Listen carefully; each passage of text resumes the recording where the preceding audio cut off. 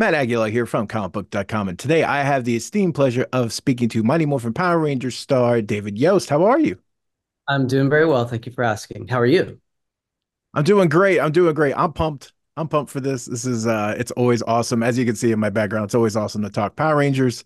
Uh it's it's a favorite franchise of mine. And uh last year, 2023 was a was a great year uh, for for Ranger fandom. Uh, we got Once and Always, we got Cosmic Fury, uh, lots of other things, of course, happening uh, around the edges as well. Um, you know, for for you, you were in both of those uh, projects. Uh, I guess for starting for Cosmic Fury, what was the experience like working with the cast of of Dino Fury moving into Cosmic, um, putting together that 30th anniversary season? Uh, for me, it was a lot of fun. The kids, as I like to call them, uh, they were so nice, so welcoming. Obviously, they had two seasons uh, working together, so they had their camaraderie down, and they're all they're all such humble and uh, great people. Uh, it's pretty pretty amazing to see a cast work like that. So that was that was really nice to walk into a situation like that, and that they just have a lot of respect for each other, and they just welcomed me uh, right out of the gate, and uh, were very generous, and I had a lot of fun getting to work with them. Well, it's one of those things too. We rarely ever get to see the same cast return multiple right. times, and it really hasn't been since Mighty Morphin that we've had the chance to really see different iterations of the same characters. Uh, you know, and also too, there was so many elements from Mighty Morphin brought in, right? You all the Zed stuff, all the Zordon stuff, just even the core principles and and interactions with characters like Billy. so, uh, what did you think of a lot of those MMPR elements kind of coming into this very new, very modern take on Rangers? I thought it was uh, kind of I thought it was cool actually. Uh, you know, to to do this 30 year progression, and here we are on the 30th uh, season, and to to bring some of the MMPR uh, elements is pretty uh, nostalgic, obviously for a lot of people. I think it brought a lot of more. I thought it brought more people into watching Cosmic Fury, which I thought was great. Uh, I can't believe how many people from MMPR the fans, you know, that from MMPR, like I, I watched Cosmic Fury because you're in it, and it was such a great season. Uh, you know, so I thought I thought that was great. So, um, but yeah, to bring Lord Zed in and keep the elements of Zordon, you know, in the ethers there, uh, you know, it always leaves the Power Ranger world open up to so many different possibilities. Yeah, and people love Billy you know people love billy uh it's it's awesome he's he's one of the characters that mm you know, people have actually seen evolve and grow so much. Uh, and really, if you look at the whole show, I mean, I think he's the character that has grown the most and changed the most over time. He's still he's still Billy and and personality and things, but you know, you've never really seen so many other Rangers kind of go from being a ranger to being an ally to then being a mentor to then being kind of all of the above. And so Billy, it's cool to see Billy do that. And it, it was great to see it tied in with the 30th uh, as well. Um, and, and speaking of Zordon, yes, it was a it was a nice nod uh, to see that you know that Zayto moment of having Zordon, you know, speak speak through him and and kind of leave that thread out there. Uh, just a little bit of like, hey, we could pick up on that. What did you think of that moment? And also, you know, the possibility of leaving that out there just in case maybe down the line someone picks that up and runs with it. Yeah, I mean, I thought that was a, a great story element, obviously, and uh, for my character as well, because at the very end of Cosmic Fury, we don't we see it, but uh, you know, Billy's kind of like left on the stage when everybody else is celebrating. He's kind of off in the wings, and he's just like so stuck on Zordon. Like, uh, if, if, if wait, you know, it was like that moment where uh, I can't remember what character came up, I think it was uh, Hunter's character came up and said something, and I was like, wait, that's Zordon would only say that. So, uh, you know, it was like, that means Zordon's alive. So uh, that was really great for my character because it just really continues to put him in that situation of, I got to find him. Uh, I know he's out there. And then tying it in with Zayto uh, was really such an awesome thing in the way that they uh, ended the whole season with Zayto on the screen was just pretty cool. Yeah. Uh, and, you know, being a, you were in a unique position. You were in, in both projects, Once and Always, uh, and Cosmic Fury, not back to back time wise, but back to back project wise. I know there was some time in between those, or I believe there was. Um, what was the difference or the biggest difference for you in as far as those experiences? Because I know one, obviously, you're, you know, reuniting with uh, a lot of uh, fellow original castmates, but then there was also new new cast additions in that too. What were the biggest differences between those two projects? I mean, uh, I feel like hopefully I don't get in trouble for saying this. Uh, I feel like with Once and Always, it just felt so much more elevated and so much more like we were almost shooting a movie, you know. And so uh, I just thought it was a little bit uh, grander in some ways. And then uh, so it was a lot of fun. Obviously, it was great for me to get to work with Walter Jones again. We started the franchise 30 years ago, and uh, just to get to be on set with him again, he's, you know, he's wild. He's uh, always got so much energy. he's always like, he's always got the party started. So it was great to work with him again. I had so much fun, and uh, you know, it was a bittersweet moment for the two of us uh, again because we started the the franchise together. But I know on the final on Walter's final day of filming Once and Always, it was it was such an emotional day for him, and I just thought, wow, that's that's kind of a such a great thing to be a part of because uh, I didn't realize how much it meant to him.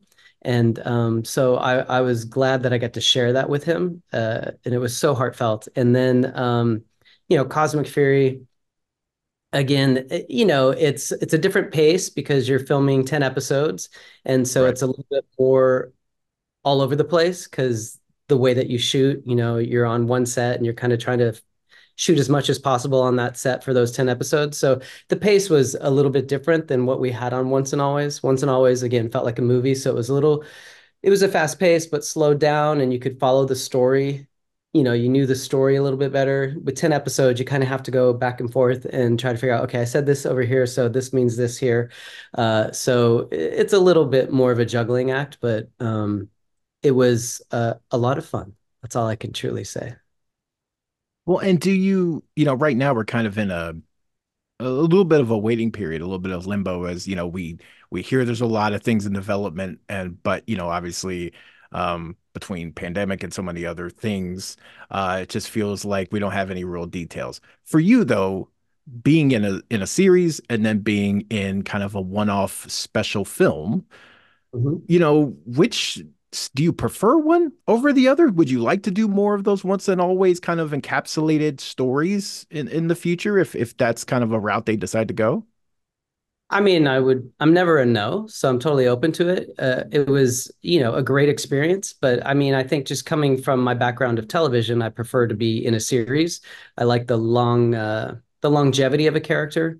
Uh, obviously, as you started off in this interview, you know, for me to get to play Billy and take Billy from the quintessential nerd who didn't have a lot of confidence and really grow him over my initial time uh, on Mighty Morphin Power Rangers, Alien Rangers, into Zeo, uh, and you really got to see him evolve. So, you know, as an actor, I like to do that, uh, you know, to take my character on uh, more of a journey.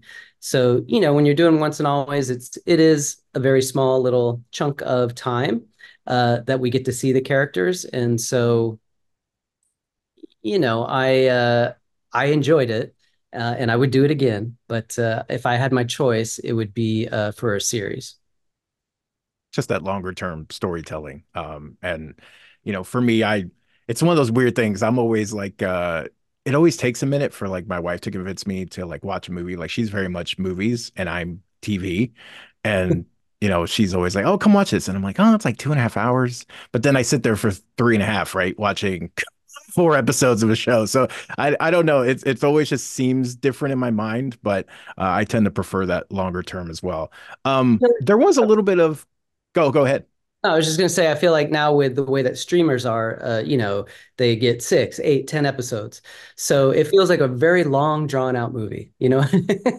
and so yeah. I think I, I, I kind of enjoy that aspect of it uh, as well because they, they draw it out. There was a little bit of uh, confusion because tied to Once and Always and Cosmic Fury, as far as like how they interact and kind of when, you know, um, as far as like whether they're connected or not in the same timeline or not. Can you provide a little uh clearing up of that clarity to that? Like where does that timeline kind of sequentially follow?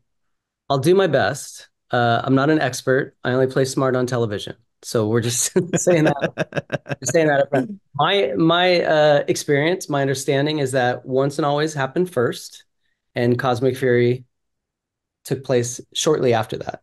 So uh, you know, I don't think there's a long period of time in between the two.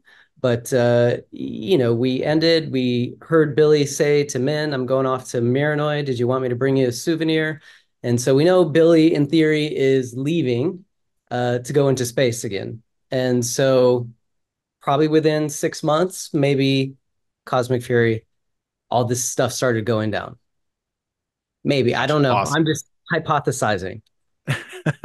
hey, that sounds good to me. Uh, that's, that I, do know, I do know. Uh, as fact uh, that uh, Once and Always was first, and Cosmic Fury came after. Awesome. If there's any confusion uh, there. yeah, that and that helps immensely. Um, you know, you've also revealed uh, you got fans buzzing uh, online when you revealed the first couple scripts uh, from Quantum Continuum, uh, your you know created series, and you know it's been uh, it's been a little bit since kind of the it was I was it supposed to be eight episodes or eight scripts, and then um, eight, eight episodes. Okay, yeah. And I was so going. Is there a update on that project, or like when maybe fans might see more scripts? Like, what's kind of the approach there? Well, the approach now is I originally was going to release all eight scripts, but um, as time has gone on uh, and talking with people, uh, they're like, you know, this is a good project. You should try to figure out how to make it just a standalone show that maybe isn't Power Rangers and um, just create a series called Quantum Continuum. So I I have been focusing a little bit on that uh, as of late. Uh, but I did release the first three episodes, the first three scripts. I've promised I will release the fourth script, but that will probably be the last one that I will release, and it will be releasing uh, by Valentine's Day. So in the next few weeks, right. two weeks. Awesome. So uh, and that will give people a good chunk of like the storyline as it was. But I don't want to give, as I, I've told people on some of my Instagram lives, I don't want to give it all away because you know I still want there to be elements of surprise if it does come to fruition, and um, we do get to see characters that aren't Power Rangers play it out. Uh, maybe in their minds they'll be like, "Oh, that would have been what Tom Tommy did," or something like that. So I just kind of want to, um, just kind of, you know, I'm I've been reworking it quite a bit, and um, I think it still has legs. Interestingly enough, I wouldn't have thought, but uh, it certainly would be a series where you know you get to take some older people that were superheroes and you introduce their kids and they become the superheroes. So i think there's a lot of elements uh, uh, and great dynamics uh, with those characters of older generation. Hey we were superheroes don't try to act like you know what you're doing when we know what we know how to do it and then the new kids are always making fun of their parents like oh my god you're so embarrassing so you know stuff like that and then they're really the new superheroes so uh, it could I think it could be a lot of fun. Yeah, and anytime you play with legacy, right? Uh, it's it's always interesting. There's always so much to mine there. Also, I as someone who so I have a I have a little girl, uh, and she let a uh, "Daddy, don't do that" in front of other people slip the other day, and I like lost my mind. I was like, "No, I'm not ready. I'm not ready for that. I'm not ready for you to be embarrassed by me yet. I know it's coming. I cannot deal with it right now. You're too young." Right. right. it's not it's not happening. Um, well, well, awesome, man. Uh, I I know I gotta let you go here. Um, but you know, before we go, I, with the future of the franchise, kind of you know, kind of in limbo and open to possibilities. What do you what do you want to see uh, the franchise do moving forward? Um, whether even that's just approach. Uh, do you want it to retain some of the familiar qualities uh, that MMPR very much you know cemented? Uh, how do you what do you want next for the franchise? For me, it kind of puts me in a quandary because uh, what I want and I think what fans want are diametrically opposed. So I, I was was pleasantly surprised uh, by how much people really loved and gravitated once and always. And they, I mean, I still get messages every day. David, please tell me there's going to be more. There's going to be more of those uh, you know, we need more specials like that. We need to see you guys back. And uh, I was like, okay. I mean, for me, I I would like to see more adults, uh, a more adult version of uh, Power Rangers, however that comes about. And I I think I don't know, don't quote me. I don't know. I don't have the inside scoop uh, that they might be in some ways working towards that. Um, you know, uh, maybe making it more instead of like for young young kids, like two to seven year olds, upping it up to like 13 and 17 year olds. So right. sort of like that teen genre type stuff. They might the tweens as we used to call them. I don't know. They might be going for that. Uh, but you know, I still would like to see something that people in their uh, 30s. I can't believe I'm saying this. I have fans in their 30s and going into their 40s, which means I'm super old. Uh, but uh, you know, I would like to have a a series that they could still really um, enjoy that felt more adult. So for me, Once and Always had almost that, but it was still young. Uh, I, I just want it to be a little bit darker. That's all. So that for me personally, but I I have you know, there's always talk like a lot of fans would be like, it'd be so cool if there was an animated series of Power Rangers, uh, which I do believe it would be great if they did an animated series of Power Rangers as well as live action, like we've always done. And maybe they do three things animated, the one for young kids, and then the one for old, you know, the older people. So uh, I don't know. I mean, I just feel like uh, Power Rangers has uh, so much possibility. And, uh, I just hope that they really tap into it and really maybe try to really go with it. If you're really going to rebrand it and recreate it, knock it out of the park. Right. Yeah. Go all in. Um, yeah. I, I hope to see that as well. And, and I think as many, uh, of the franchises that are like on the wall behind me and all over the place in this office, you know, one of the things we've learned is that you can hit a multitude of genres and multitude right. of of types of iterations of a thing and still retain that core thing and and it's not a bad thing. Uh, demographics big right? So i i hope the same same thing. So thank you so much for for taking the time. Uh, i really appreciate it and all the best success. I hope to uh you know see you on the screen again. See billy back up in in some form or fashion always hoping. Well i appreciate you too. Thank you so much for your time